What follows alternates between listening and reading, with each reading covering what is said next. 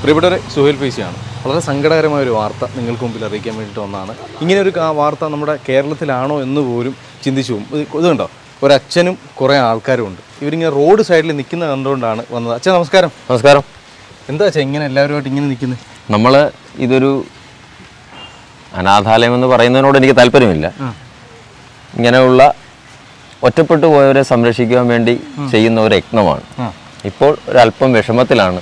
ആ വിഷമം എന്താന്ന് പറയാമോ? നമ്മളിതൊരു വാടക കെട്ടിടമാണ്. സർക്കാരിന്റെ അനുമതിയോടെ സാമൂഹ്യക്ഷേമ വകുപ്പിന്റെ അംഗീകാരത്തോടെ അനുവാദത്തോടെയും നടത്തുന്ന ഒരു സ്ഥാപനമാണ് പക്ഷേ നമുക്ക് സ്വന്തമായ ഒരു സ്ഥലമില്ല. നമുക്കെല്ലാവർക്കും വസ്ത്രം ഭക്ഷണം പാർപ്പിടം ഇതാണല്ലോ മൂന്ന് അടിസ്ഥാന സൗകര്യം. ഞാൻ പറഞ്ഞാൽ ഇവരെ സംരക്ഷിക്കാൻ പോയ അച്ഛനും ഇവരും പെരുവഴിയിലായി. അതെ. പോകാൻ വേറെ സ്ഥലമൊന്നും ഇല്ല. ഇത് വാടക കെട്ടിടത്തില്ല അതെ അതെ. അപ്പൊ ഇനി ഇവർ മുന്നോട്ട് പോകണമെങ്കിൽ എന്ത് ചെയ്യണം വെച്ചാൽ എന്തെങ്കിലും സ്ഥലം കിട്ടിയെങ്കിലേ പറ്റത്തുള്ളൂ. നമുക്കൊരു സ്ഥലം വാങ്ങണം. ഇവർ ഇട്ടിട്ട് പോകാൻ തയ്യാറാണോ? ഒരിക്കലും ഇല്ല. ഇല്ല. ഇവരോടൊപ്പം തന്നെ അവസാനം വരെ ഇവരുടെ കാര്യങ്ങൾ. ഇവരെല്ലാവരും തെരുവോരങ്ങളിൽ കിടന്ന് മരിച്ചു പോകേണ്ട ആൾക്കാരാണ്. പോലീസ് ഏറ്റെടുത്ത് അർഹമായ പരിഗണന ലഭിക്കും എന്നുള്ള ഉത്തരവാദിത്വത്തോടെ നമ്മളെ ഏൽപ്പിച്ചിരിക്കുന്നതാണ്. ആ ഉത്തരവാദിത്വത്തിൽ നിന്ന് പിന്നോട്ട് പോകാൻ ഒരിക്കലും തയ്യാറല്ല. ഞാനും എന്റെ കുടുംബവും സുഹേൽ ഫേസിയെ പോലുള്ളവരും നാട്ടുകാരും നന്മ നിറഞ്ഞ കുറേ നാട്ടുകാരും സംഘടനകളും ഒക്കെയാണ് ഇപ്പോൾ ഇവരുടെ അന്നത്തിന് വഴിയൊരുക്കിക്കൊണ്ടിരിക്കുന്നത്. നമുക്ക് അങ്ങോട്ട് നിൽക്കാം. അപ്പം അച്ഛൻ പറഞ്ഞതുപോലെ ഇതാണ് ആ വാടക കെട്ടിടം. അപ്പം വാടക കെട്ടിടത്തിലാണ് ഇവരെല്ലാവരും കഴിയുന്നത്. ഇവിടെ വളരെ ഒരുപാട് പേരുണ്ട്. ഒരുപാട് ചേട്ടാ എത്ര ആളാ ഇവിടെ വന്നിട്ട്? ഞാൻ വന്നു രണ്ടു മാസം ആയില്ല. രണ്ട് മാസമായില്ല? എങ്ങനെയുണ്ട് ഇവിടുത്തെ? കുഴപ്പമില്ല. കുഴപ്പമില്ല. അച്ഛനൊക്കെ നല്ല ഹാപ്പി ആയിട്ട് ഇല്ലേ? നല്ലപോലെ എല്ലാവരും നോക്കുന്നത് മൂന്ന് നേരം ഭക്ഷണം രണ്ടു നേരം ചായ എല്ലാം കൃത്യ സമയത്ത് വരുന്നുണ്ട് തരുന്നുണ്ട്. ഇപ്പൊ എല്ലാം ഒരുപാട് ചേട്ടന്മാരുണ്ട് കേട്ടോ. ഒരുപാട് പേരുണ്ട്. പല സ്ഥലങ്ങളിൽ നിന്ന് വരുന്നവരുണ്ട്. ഇതാണ് ആ വാടക കെട്ടിടം. അല്ലേ ചാ ഇതല്ലേ വാടക അതെ കെട്ടിടം? അതെ അതെ. ഇതാണ് ആ വാടക കെട്ടിടം. ഈ വാടക കെട്ടിടത്തിൽ നിലവിൽ ഒരുപാട് പേരുണ്ട്. ഇവർക്ക് എങ്ങും പോകാൻ വേണ്ടി പ്രത്യേകിച്ച് ഒരു സ്ഥലമില്ല ഇവരെവിടെ പോകും അല്ലെങ്കിലും? ഇവർ തെരുവൂലങ്ങളിൽ അലഞ്ഞ് ഭിക്ഷയെടുത്ത് നടന്നിരുന്ന ആൾക്കാരല്ലേ? ഇനി അവരുടെ മരണം വരെയുള്ള സംരക്ഷണം നമ്മൾ തന്നെ പറഞ്ഞു ഇപ്പോൾ പോയിക്കോ പോയിക്കോ ഏ, ആ, പറഞ്ഞോ സാർ. ഇവർ തികച്ചും അനാഥരായി മക്കളും കുടുംബവും ഒക്കെ ഉപേക്ഷിച്ച് അങ്ങനെ അനാ അങ്ങനെ അനാഥരാകാതിരിക്കട്ടെ എന്നുള്ളതാണ്. അനാഥാലയങ്ങളോട് തികച്ചും നമുക്ക് താല്പര്യമില്ല. പക്ഷെ ഇങ്ങനെ ഒറ്റപ്പെട്ടു പോകുന്നവർക്കും ഒരു സങ്കേതം വേണമല്ലോ. പിന്നെ? കൊല്ലം ജില്ലയിൽ തന്നെ നമ്മൾ ഉദ്ദേശിക്കുന്നതിൽ കൂടുതൽ ഇതേപോലുള്ള ചെറുതും വലുതുമായ സംരക്ഷണ കേന്ദ്രങ്ങളുണ്ട്. തീർച്ചയായിട്ടും. പ്രത്യേകിച്ചും ഗവൺമെന്റ് പറഞ്ഞിരിക്കുന്നത് ഇവർക്ക് ഇവരെ നമ്മൾ നമ്മുടെ ഗസ്റ്റിനെ പോലെ കരുതണമെന്ന്.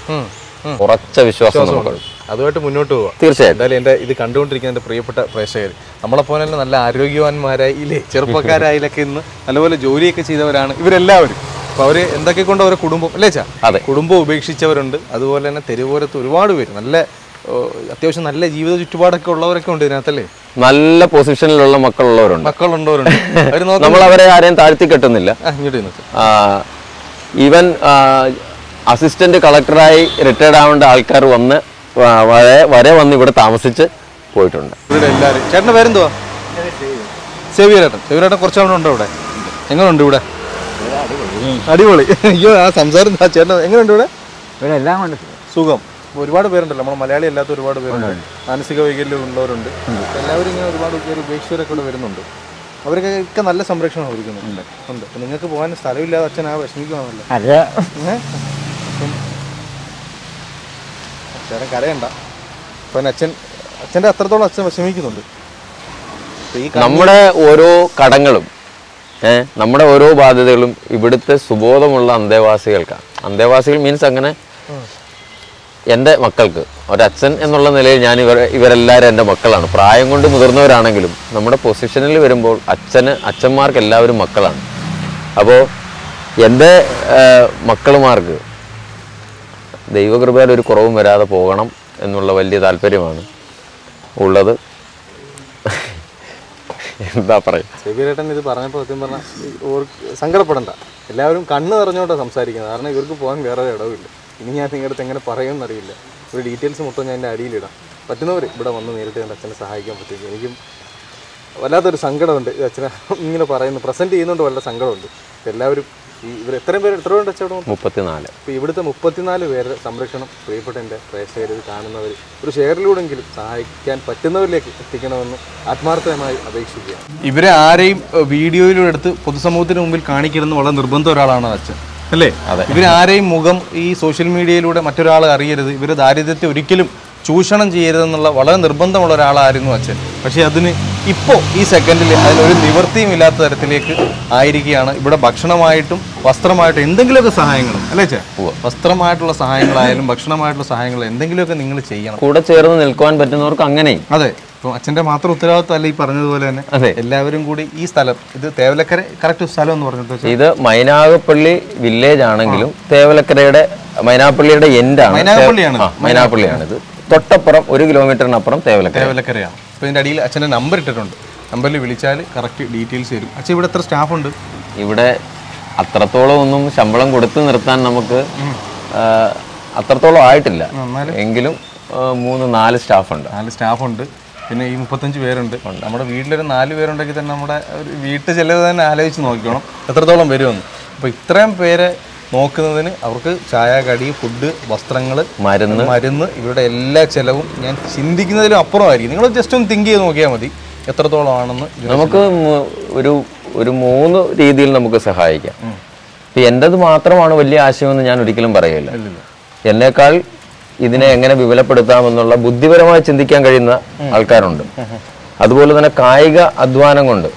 നിങ്ങൾ കണ്ടില്ല ഇത്രയും ഭൂമി നമുക്കുണ്ട്. പക്ഷെ ഇവരാരും ഏബിൾ അല്ലാത്തത് കൊണ്ട് ഏഹ് ശാരീരികമായിട്ട് കേബിൾ അല്ലാത്തത് കൊണ്ട് നമുക്ക് അല്ലെങ്കിൽ ഇവിടെ പൊന്നു വിളയിച്ച് നമുക്ക് എടുക്കാം. പിന്നെ തീർച്ചയായിട്ടും. അതുപോലെ തന്നെ സാമ്പത്തികം. ഇത് മൂന്നും കൂടി ചേരുമ്പോഴാണല്ലോ നമുക്ക് എന്തെങ്കിലും ഒരു ഒന്ന് കെട്ടിപ്പടുക്കാനായിട്ട് പറ്റുന്നത്. അപ്പം എനിക്ക് സാമ്പത്തികമായി സഹായിക്കാൻ കഴിയുന്നില്ല. അതുകൊണ്ട് ഞാൻ മാറി നിൽക്കാമെന്നല്ല. അപ്പം എനിക്ക് ബുദ്ധിപരമായിട്ട് എന്തെങ്കിലും ചെയ്യാൻ പറ്റുമെങ്കിൽ അത് ചെയ്യാം.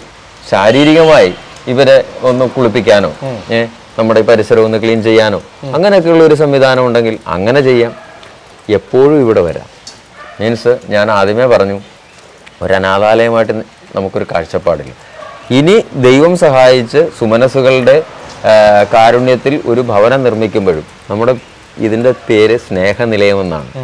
അവരുടെ ഒരു വീടായിട്ട് തന്നെ സർവസ്വാതന്ത്ര്യത്തോടും കൂടി വിഹരിക്കാനുള്ള ഒരു അതാണ് നമ്മുടെ മനസ്സിലെ ആശയം. തീർച്ചയായിട്ടും. അപ്പം എല്ലാവരും ഷെയർ ചെയ്യുക. അച്ഛന്റെ വലിയ മനസ്സിന് ഒരുപാട് നന്ദി. ഒരുപാട് ദൈവം ഒരുപാട് അനുഗ്രഹിക്കട്ടെ എന്ന് ആത്മാർത്ഥമായി പ്രാർത്ഥിക്കുന്നു. ഇവരുടെ ആരെയും മുഖങ്ങൾ പ്രതീക്ഷിക്കാതായിരുന്നു ചെയ്തുകൊണ്ടിരുന്നത്. പക്ഷേ ഇപ്പം ഗതികളും ഉണ്ടായിപ്പോയി. ഇവരെങ്ങോട്ട് പോകണം നമ്മളാണ് ഇവരെ കൈത്താങ്ങേണ്ടത്. അല്ലാതെ അച്ഛനെ കൊണ്ട് ഒരു എടുക്കാൻ വയ്യാത്തൊരു ഭാരമാണ് ഇപ്പം നമ്മൾ ഏറ്റെടുത്തിരിക്കുന്നത്. വലിയൊരു വലിയൊരു ബാധ്യത. കടക്കാരനായി. എന്നാലും നമ്മളെ കൊണ്ട് പറ്റുന്നത് പത്തെങ്കിൽ പത്ത്. നിങ്ങളെ കൊണ്ട് പറ്റും ഞാൻ പലപ്പോഴും ചിന്തിക്കാറുണ്ട് യൂസഫ് അലി സാറിലേക്കോ അങ്ങനെയുള്ള വലിയ വലിയ ആൾക്കാരിലേക്കോ ഒന്ന് എത്തപ്പെടാൻ പറ്റിയെങ്കിൽ എന്ന് ഞാൻ പലപ്പോഴും ആഗ്രഹിക്കാറുണ്ട്. പലരോട് ഞാൻ ഈ ആവശ്യം പറ ഇവിടെ വന്നു പോയിട്ടുള്ള പല വലിയ വലിയ ആൾക്കാരുണ്ട്. അവരോടൊക്കെ ഞാൻ പറഞ്ഞിട്ടുണ്ട്. പക്ഷെ ഇന്നവരെ എത്തി ഇന്നേ വരെ എത്തിയിട്ടില്ല. അങ്ങനെ ആരെങ്കിലും വലിയ കരങ്ങളിലേക്ക് ഇതൊന്ന് എത്തപ്പെട്ടാൽ തീർച്ചയായിട്ടും അതിനുള്ള വഴി ഇതിലൂടെ തെളിയട്ടെ. തെളിയുന്നുള്ള ആത്മ എനിക്ക് എങ്ങനെ ആയാലും ഇത് മുന്നോട്ട് പോകുമെന്നുള്ള ആത്മവിശ്വാസം എനിക്കുണ്ട്. തീർച്ചയായിട്ടും. ഇത് യൂസുഫ് അലി സാറിനെ പോലെയുള്ള ആരെങ്കിലും വലിയ മനസ്സുള്ള ആരെങ്കിലും ഇടയിലോട്ട് എത്തിയാൽ ഇവർക്ക് ഒരു വലിയ സഹായമായിരിക്കും ഈ വീഡിയോ കണ്ടിട്ട് ചിലർ ചോദിക്കും എന്റെ പോക്കറ്റിൽ പണമില്ലല്ലോ. അത് ക- ഒരിക്കലും കരുതരുത്. നിങ്ങൾ വിചാരിച്ച ഒരു കാര്യം പറ്റും. മറ്റുള്ളവരെ എത്തിക്കാൻ പറ്റും. പൈസ ഇല്ലെങ്കിൽ നിങ്ങൾ മറ്റുള്ളവരെ എത്തിക്കുക. ഈ വീഡിയോ മാക്സിമം ആൾക്കാരെ എത്തിച്ച് ഈ ഇവിടത്തേക്കുള്ള ഇവർക്കുള്ള ഒരു നേരത്തെ ആഹാരമെങ്കിലും അല്ലെങ്കിൽ ഇവർക്ക് ഒരു കയറി കിടക്കണം അതിനുവേണ്ടി എല്ലാവരോടും കൈതൊഴുത് തന്നെ പറയുകയാണ്. നിങ്ങളെക്കൊണ്ട് പറ്റുന്ന സഹായങ്ങൾ പടച്ചാമ്പരാനെ ചെയ്തു തരണമെന്ന് ഒരു താഴ്മയായിട്ട് അപേക്ഷിക്കുകയാണ്.